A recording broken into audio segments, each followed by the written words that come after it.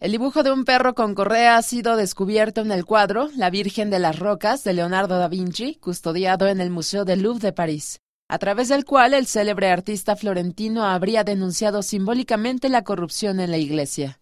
El descubrimiento fue posible gracias a una nueva técnica de investigación que conjuga el uso de una lente especial de engrandecimiento y el Photoshop avanzado, y fue obra del experto Roberto Biggi.